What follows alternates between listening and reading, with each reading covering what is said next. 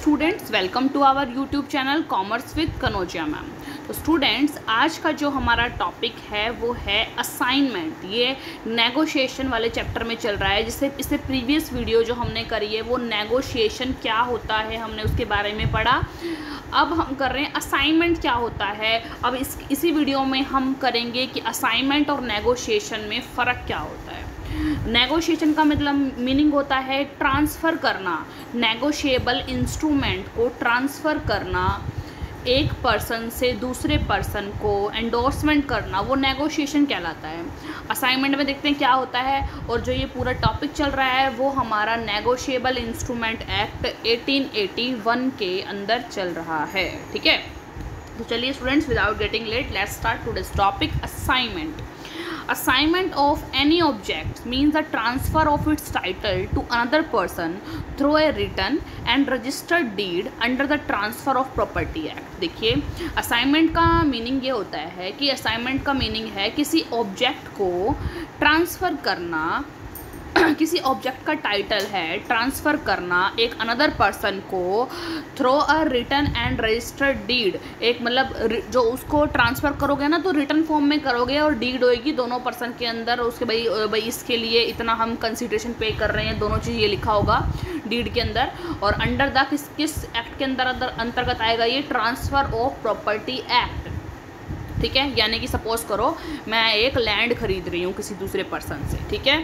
तो अब वो पर्सन यानी कि मेरे मेरे बीच में और उस पर्सन के बीच में एक रिटर्न फॉर्म में रजिस्ट्री होगी रजिस्ट्रेशन डीड होगी, जिसके अंदर ये लिखा जाएगा कि ये जो ट्रांस टाइटल का ट्रांसफ़र है, उस बंदे के नाम से मेरे नाम पर ट्रांसफ़र हो गया है। और ये किस एक्ट के अंतर्गत आता है? ये ट्रांसफ़र ऑफ़ प्रॉपर्टी एक्ट के अंतर्गत आता है, ठीक है? आगे देखिए। The title of a negotiable instrument can also भी ट्रांसफर्ड बाय असाइनमेंट अब हमने बात करी वो, जैसे कि एक प्रॉपर्टी की बात बात बात करी। लेकिन ये ट्रांसफ़र ऑफ़ प्रॉपर्टी एक्ट के अंदर नेगोशिएबल इंस्ट्रूमेंट की ट्रांसफ़र भी आती है, यानी कि नेगोशिएबल इंस्ट्रूमेंट का ट्रांसफ़र भी असाइनमेंट के थ्रू किया जा सकता है। The title of negotiable instrument can also भी transferred by assignment The assignee uh, in this case, even though he acquires all the rights of the holder, does not become a holder in due course. देखिए इसके अंदर जो assignee होता है assignee means जिसको वो दिया गया है ठीक है मतलब जिसके नाम पे वो ट्रांसफ़र किया गया है एक तरह से वो होता है असाइनी उस असाइनी उस केस में even though he acquire all the rights of the holder चाहे उसके पास सारे राइट्स आ गए हैं होल्डर के, क्योंकि वो होल्डिंग कर रहा है उस टाइम पे नेगोशिएबल इंस्ट्रूमेंट के, लेकिन फिर भी वो होल्डर इन ड्यू कोर्स नहीं बन पाता। ठीक है? He can file a suit on the instrument in his own name and it's entitle to receive और recover the amount due thereon from the parties liable on the instrument वो क्या कर सकता है? अगर वो उस इंस्ट्रूमेंट के रिगार्डिंग उसको पेमेंट नहीं होती तो वो उसके रिगार्डिंग केस फ़ाइल कर सकता है और उससे जो भी जो भी पार्टी उस चीज़ के लिए लेबल होती है, उससे पेमेंट मांग सकता है। ठीक है? एग्ज़ाम्पल देखिए। Ashok drew promissory note for rupees पाँच सौ in the name of Ram Kishore एक प्रोमिजरी नोट ड्रू की, ड्रॉ किया अशोक ने, किसके नेम पे? राम किशोर के नेम पे। ठीक है? Ram Kishore further sold this promissory note to Rajendra Narula through a separate contract of sale Ram Kishore ji ने वो फिर वो प्रोमिजरी नोट आगे क्या कर दिया सेल कर दिया और किसके कॉन्ट्रैक्ट ऑफ़ सेल के रिगार्डिंग ठीक है? एक दूसरा कॉन्टैक्ट ऑफ़ सेल किया, उसमें वो आगे वो प्रोमिजरी नोट आगे ट्रांसफ़र कर दिया, ठीक है? When Rajendra Narula filed a case for the recovery of the amount Ashok's defence was that Rajendra Narula had not acquire the promissory note by negotiation and since he was not a holder in due course जो राजेंद्र नरुला है, उसने जो negotiable instrument लिया है, वो उसने कोई बीच में नेगोशिएशन के थ्रू नहीं लिया है, इसलिए वो होल्डर इन ड्यू कोर्स नहीं माना जाएगा। He was not title to recover the amount due thereon भाई वो अमाउंट की रिकवरी का टाइटल नहीं है। The court in this case held that even though Rajendra Narula was not a holder in due course he was a normal holder and was title to recover the amount due thereon वो, उसका वैसे मतलब बेशक चाहे वो holder in due course नहीं बन सकता उसका चाहे वो आगे एंडोर्समेंट हुआ है इसलिए, लेकिन वो होल्डर ज़रूर है। उस नेगोशिएबल इंस्ट्रूमेंट का होल्डर है, उसके पास वो है। तो इसलिए पेमेंट तो उसकी देनी बनती है तो उसकी रिकवरी ज़रूर होएगी पेमेंट की, ठीक है? अब देखिए distinction between assignment and negotiation negotiation और असाइनमेंट के बीच में क्या डिफरेंसेस है? It is not necessary that a negotiable instrument be transferred through negotiation ये कोई ज़रूरी नहीं है कि नेगोशिएबल इंस्ट्रूमेंट सिर्फ़ नेगोशिएशन के थ्रू ही ट्रांसफ़र होगा। It can be transfer by assignment also assignment के थ्रू भी ये क्या हो सकता है? नेगोशिएट हो सकता है ट्रांसफ़र हो सकता है in the same manner as any ordinary commodity under the transfer of property act जैसे ट्रांसफ़र ऑफ़ प्रॉपर्टी एक्ट के अंदर कोई भी कॉमोडिटी होती है लैंड वगैरह या कुछ भी है, हमारा अगर हम अपनी कोई व्हीकल वगैरह, अपनी एसेट वगैरह कोई बेचते हैं तो वो ट्रांसफ़र ऑफ़ प्रॉपर्टी एक्ट के अंतर्गत आता है। ऐसे ही नेगोशिएबल इंस्ट्रूमेंट को भी असाइनमेंट के थ्रू ट्रांसफ़र किया जा सकता है, ठीक है?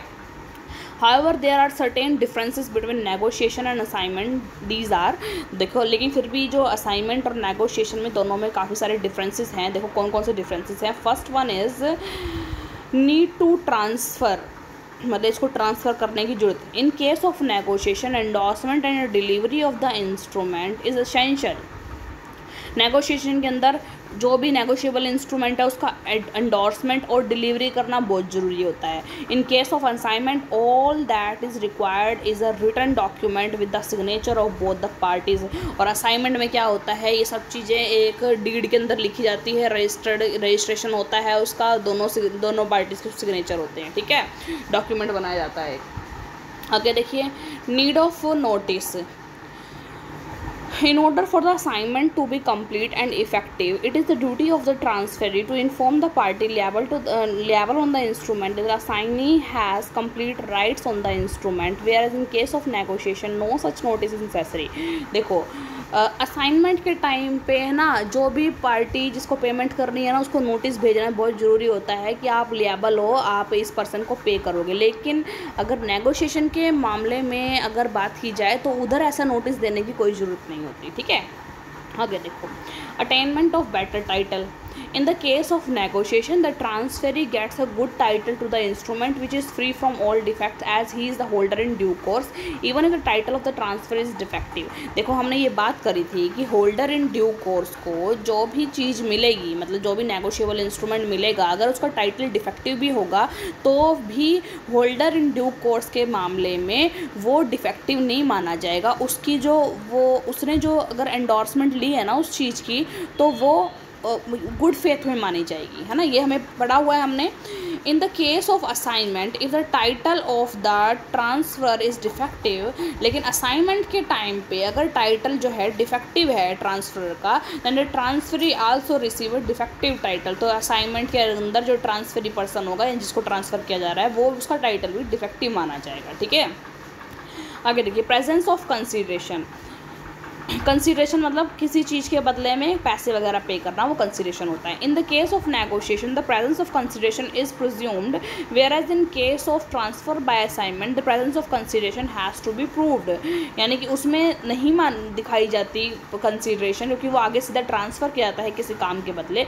लेकिन असाइनमेंट के अंदर जब हम डीड बनाते हैं तो उसके अंदर उसकी जो कंसिडरेशन होती है, वो प्रूव्ड दिखानी पड़ती है हैज़ टू बी प्रूव्ड कितनी रुपए की है, कितना करना क्या है, उसके अंदर वो दिखाना पड़ता है। ठीक है स्टूडेंट्स तो आई होप स्टूडेंट्स आपको ये जो आज का हमने टॉपिक किया है कि असाइनमेंट क्या होता है। क्योंकि नेगोशिएशन हमने इससे प्रीवियस वीडियो में कर लिया कि नेगोशिएशन क्या होता है। इसमें हमने पढ़ा कि असाइनमेंट क्या होता है। तो आई होप आपको यहाँ से समझ में आओगे असाइनमेंट क्या होता है। एग्ज़ाम्पल किया हमने एक असाइनमेंट का और डिफरेंसेस किए बिटवीन असाइनमेंट एंड नेगोशिएशन के अंदर। students i hope this video is useful for you. Uh, and if you like my video then please uh, uh, share my video with your friends and uh, also like and comments on my videos and also subscribe my channel commerce with kanoja ma'am. And uh, don't forget to hit the bell icon for the further notification of my videos. Thank you students.